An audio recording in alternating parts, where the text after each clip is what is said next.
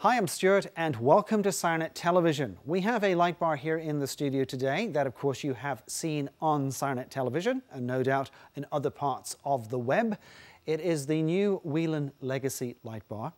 Now, there's a couple of things I'm going to take a look at in a moment in relation to this light bar, but let me give you a little bit of background behind it.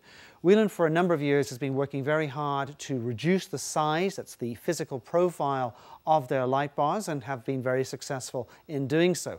And the Legacy is the next generation of ultra low profile light bar available from Whelen. They've done a really nice job. You will get some technical specifications available on the website, but one of the things that we're going to be doing with this particular bar, because of the complexity in relation to how it is built, you will need to give us a call for pricing. So again, call for pricing, look at the tech specs, and we'll be able to give you information over the phone and of course email you pricing once we have figured out exactly what configuration will work the best for you. So let's take a look at the bar and as you can see here, it is a low profile light bar. I'm going to lift it up a little bit here. Uh, we got a couple of cameras running today, so uh, we're going to be bringing in uh, Chris, who'll be working camera three. But essentially what's going on here is the bar is configured with a 6 diode and a 12 diode. Now this right here is the 12 diode, and then right down at the end is a 6 diode variation. Now this current 6 diode is actually part and parcel of the corner mechanism. Now we're going to bring Chris in right now and we're going to take a look at the back of the bar. That'll be a little bit easier because the front of the bar has got 12 but the back of the bar actually has a combination of 12 and 6. So the diode here for example is a 6 diode. You can kind of see that there. And that in turn ties in with a 6 diode that is part of the corner assembly. And the corner assembly itself actually has an additional 12 diodes going off to the, what is my right, as it uh, moves towards the alley light, which is right at the alley portion of where it would be normally in the bar. So I'm going to go ahead and turn on the bar. And right now you can see that, uh, and again, this has been pre-set up, so we kind of have a variety of colors. But this particular bar has got blue in it, it has got red in it, it also has amber to the back, uh, which you can see as well. It's coming on and off. But the modules themselves actually are a duo module in the sense that there is, in this particular case, now obviously it's not turned on right now, but in this particular case, it happens to have white and blue, and this one has white and red. And then at the back, we actually have blue and amber, and over here, red and amber as well. So again, there's a variety of different colors that have been set up in this bar. I'm going to switch it off for a second. And then up on the front area of the light bar, and I think we can get the close-up camera to zoom in a little bit there. What we have here are three diodes in a deep dish module. Let me turn it this way so they can get a good look at it. And basically you can either have this as a 3 or a 6 configuration. And again, if you have it as a 3, you'll have it more or less what you're seeing here. If you have it as a 6, then it will expand by an additional 3 modules. This is also a WeCan bar. So in other words, it's tied in with Whelen's WeCan controller. Again, there's different ones available on the website. You can go ahead and check those out. But that's what's running this right now. So I'm going to push a couple of buttons and as usual mess things up, but that's where the fun is. So let's turn on the back and you can see here the TA function is functioning away here. Let's move this a little bit out of the way there. I think you can see it okay, Chris? Chris, give me a thumbs up, you can see it. So then we have the split and then we have go around me. So again, that is the amber portion of the bar.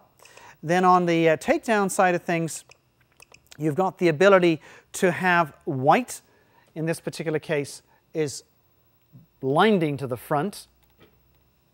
Turn that off. And then you have the alley light uh, on the corner there, which you can see there. And that, of course, has all of the corner module area illuminated.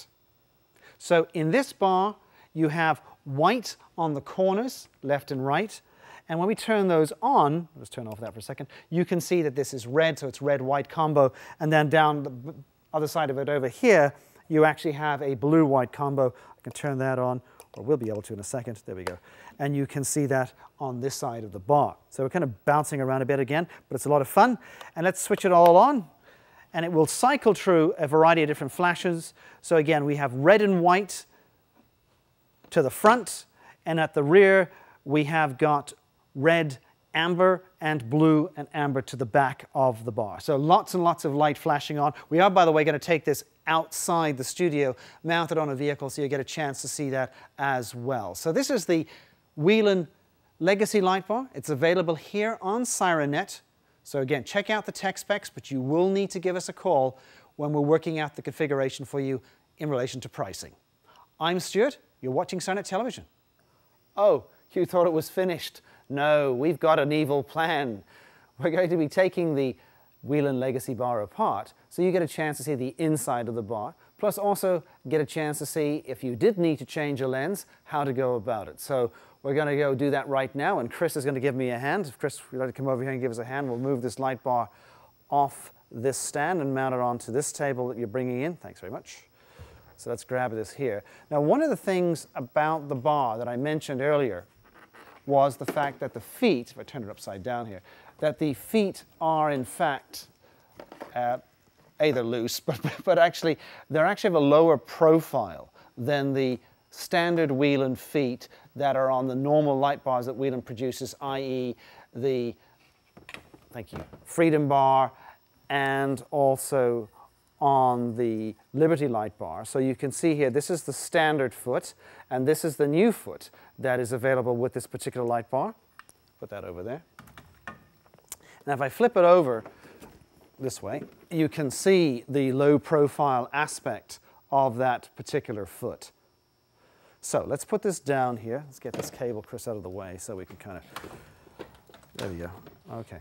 So we're going to first of all take the the bar apart, but let me explain to you briefly about the construction of the bar. You have an aluminum top section, as you can clearly see here.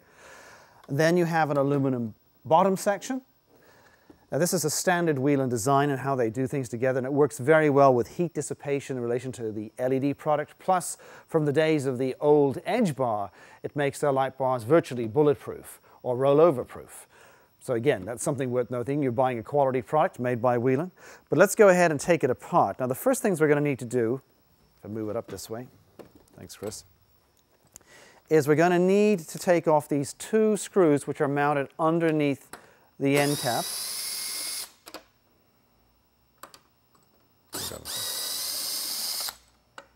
Thanks. And then you'll need to take off the additional four screws on the top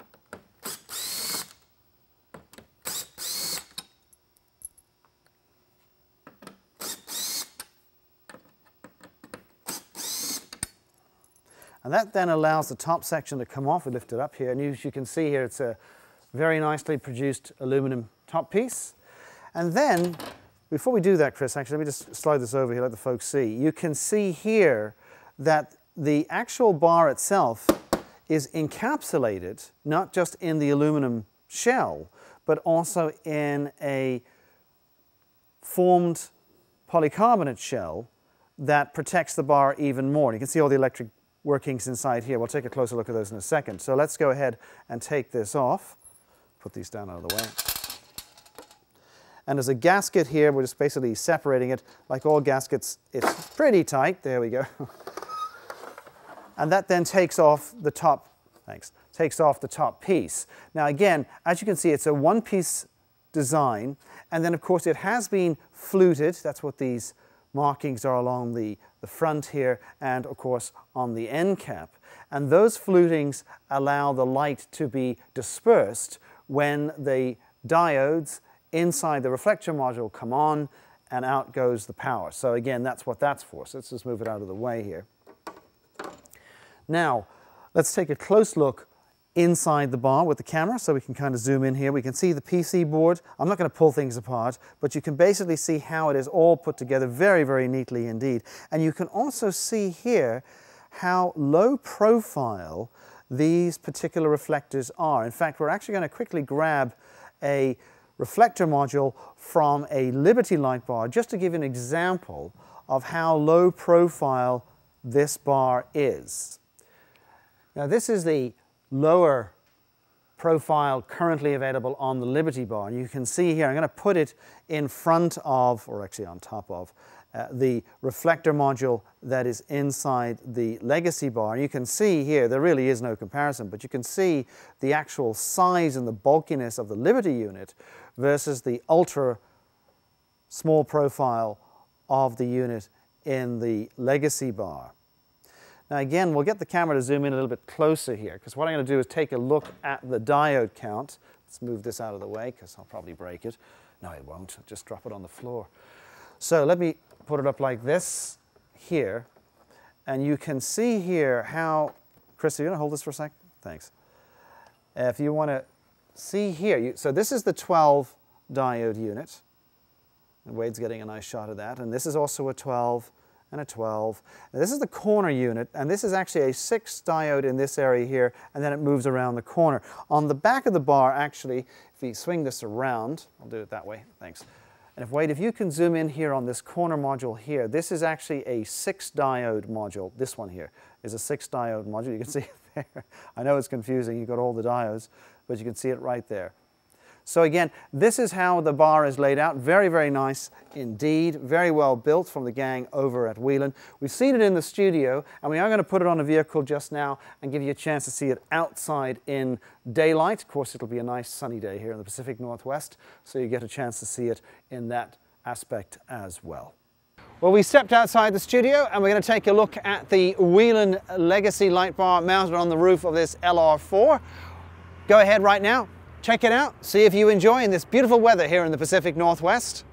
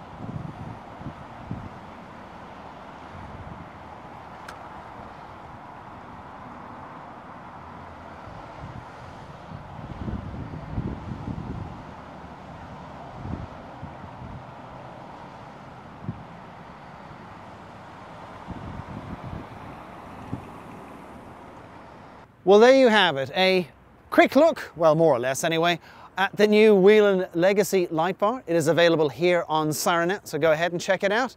I'm Stuart, and I will say this time, many thanks for watching.